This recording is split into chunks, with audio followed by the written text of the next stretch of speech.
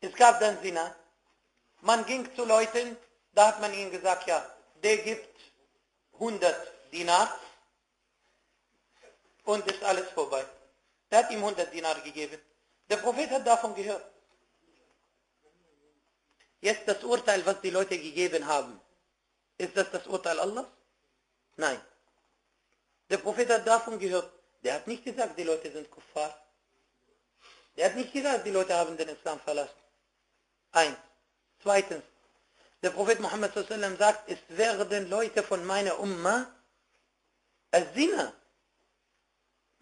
يستحلون الحرى والحرير والخمر والمعازف استحلال das heißt, sie werden das als halal praktizieren Zina, Unzucht Harir, Seide für Männer Al-Khamr, Alkohol, Berauschendes Al-Ma'azif, Instrumente wieso sagte der Prophet Muhammad min Ummati wenn sie keine Muslime geworden sind, wieso von Ummati? Und das nennen die Gelehrten al-Istihlal al-Amali. Das bedeutet, in ihren Taten machen sie das so, als ob das erlaubt wäre, aber die erlauben das nicht. Man sagt, wir sagen ja, wir wissen, das ist haram, aber wir machen das haram. Und das gilt auch das Gleiche für diese Eier. Deshalb sagen die Gelehrten, wenn ein, die Ayat erstmal, die sind nicht spezifisch auf die Führer, und diejenigen, die sagen, die sind die Ayat von Surat al-Ma'idah bezüglich Führer, die nehmen die Meinung von Khawarij und Mu'tazila wal billah. Das ist nicht die Meinung und Ansicht von, äh, das ist nicht die Ansicht von Ahl Sunnah al-Jama'a. Ahl Sunnah al-Jama'a sagen, die Ayat sind allgemein. Beispiel, du willst beweisen. Wa man. Dieses Wort man im Arabischen, das heißt wer.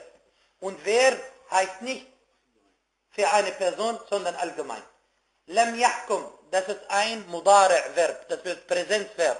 Im Arabischen, wenn ein Präsenzverb und davor kommt Lam, das ist auch allgemein, der dient der Allgemeinheit. Al-Kafirun, Alif und Lam, das ist Alif und Lam al-Istighraq, das bedeutet allgemein. Al-Kafirun ist das Wort wie Fa'il. Und Fa'il im Arabischen, das bedeutet sozusagen Al-Wazn, wa al-Wazn Fa'il, das ist auch allgemein. Warum hat man das dann spezifisch gemacht auf bestimmte Gruppe? Und das hat Ibn Abbas auch gesagt. Und das hat Abu Mijlis gesagt. Und das hat Imam Ahmed gesagt. Und das haben andere auch gesagt, dass dies nicht nur, ja, dass dies nicht nur für die Führer ist, sondern solche Ayat sind für alle. Deshalb, wenn ein Ayat allgemein ist, dann sollte man nicht nach seinem Kopf und nach seiner Meinung spezifisch machen. Das heißt, ich rede nicht jetzt von den Führern, die heute sind oder die früher sind. Ich rede über religiösen Urteil, über die Religion. Jetzt, was ist mit Präsident X oder König Y? Das hat eine andere. Deshalb, du musst unterscheiden immer zwischen einer allgemeinen Aussage und zwischen spezifischer Ansicht. Wenn man sagt, König X, Präsident Y, da muss man erstmal Iqamat al-Hujja machen. Da sage ich, ja, der wird mich abköpfen. Dann schweig. Aber du sitzt hier in Deutschland, du isst Milka und du gehst, du klaust Schokolade von Aldi. Ja? Und wal billah, äh, jeden Abend in der Disco mit Mädchen und so weiter.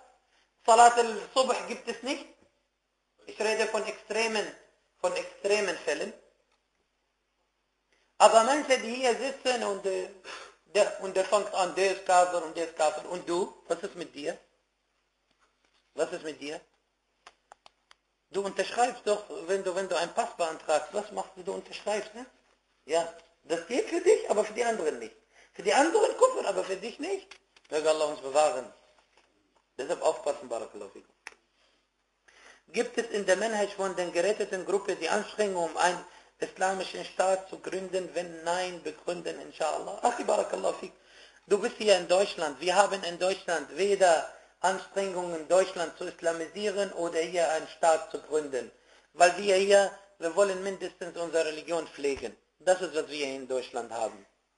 Und wenn man so weit im Glauben geworden ist, dann mashallah, ich meine, was macht man hier in Deutschland?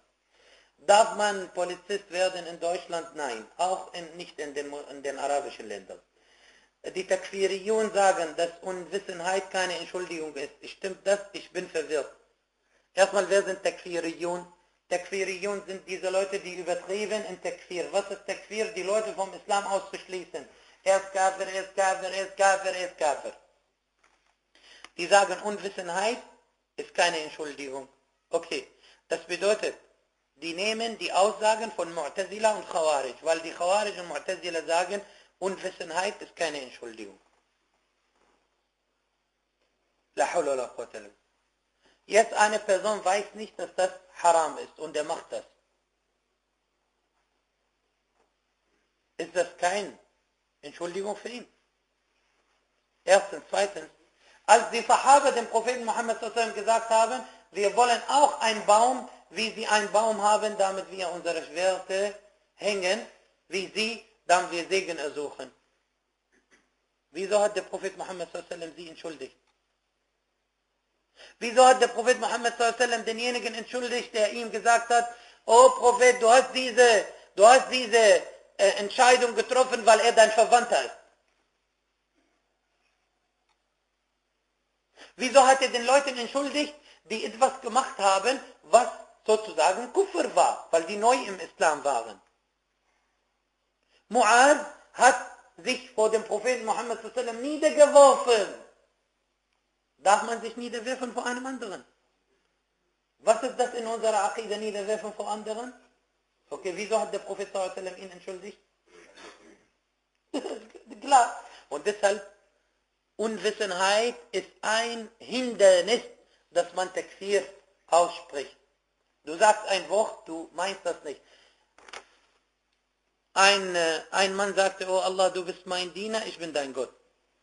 Der Prophet, wieso hat der Prophet nicht gesagt, der ist Kafir? Der Diener, der hat gesagt, wenn Allah mich bezwingen kann, dann wird er mich bestrafen. Deshalb hat er seinen Kindern befohlen, dass sie ihn, dass sie ihn verbrennen und seine Asche dann verteilen auf Meer und, und Erde. Das ist alles, die sind alle Beweise. Sowieso ein Mensch, menschlichen Verstand wird das bestätigen. Wenn etwas nicht, wenn eine Person nicht weiß, dann kannst du ihn, warum hat Allah uns Propheten dann gesandt? Alhamdulillah. Die Takfiriyun sagen zu mir, man muss Takfir machen, ansonsten wird man selber auch Kafir. Soll man sich abneigen vor dem, der diese Sünde gemacht hat, oder muss man Takfir machen? Du musst kein Takfir machen. Das ist nicht dein Thema. Takfir zu machen, Barakallahu fik, Jazakallah khairan. Takfir ist nicht das Thema für dich, sondern das ist für die großen Gelehrten und für die Leute, für die Leute, die äh, Instrumente des Wissens haben. Dazu, wer sagt, dass Takfir eine Pflicht in der Religion ist? Wo ist der Beweis? Der sagt, وَمَنْ يَكْفُرْ بِالطَّاغُوتِ Was hat يَكْفُرْ mit Taghut mit Takfir zu tun? Diese Personen haben das nicht verstanden. Al-Kufr mit das heißt abschwören, was gegen den Islam ist. Allgemein. Dass du keine Götzen anbetest. Hier in der Eier, Al-Kufr mit bedeutet Götzen. Dass du keine Götzen anbetest, dass du das abschwörst und so weiter. Aber das hat nicht mit Takfir zu tun. Wenn du nicht weißt, dass eine Person Kafir ist, wird Allah dich fragen. Und diese Regel, die sie behaupten, immer man kaffara, man lam yukaffir al-kafir, fahu kafir. Erstmal, wo ist der Beweis dafür? Wer hat das gesagt? Erstmal, das ist eine Regel von Gelehrten.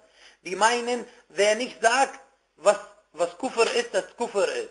Aber das ist nicht, das ist nicht jeden angesprochen hier, sondern derjenige, der Wissen hat in dieser Sache. Keiner wird dich fragen am letzten Tag, ob Takfir angenommen. Kennst du eine Person, der heißt äh, Sokomoko? Ist Sokomoko Kafir? Ha? Wieso? Sagst du nicht, Sokomoko ist Kafir, du hast kein Takfir gemacht, du bist kein Muslim. So ist die Regel bei ihnen. Ja. Du fragst ihn erstmal, wird Allah mich nach Sokomoko fragen? Der sagt, nein, die meinen, wir meinen nicht Sokomoko. Wir, wir meinen Präsident und so was. Ja, Achwa, die Regel bei Al-Sunnah und Jama'a ist anders. Diese Sache, dass man nur die Führer als Kuffar bezeichnet und immer gegen sie ist und, und gegen sie kämpfen will, das ist nicht Manhaj von Ahl-Sunnah wal Jama'a.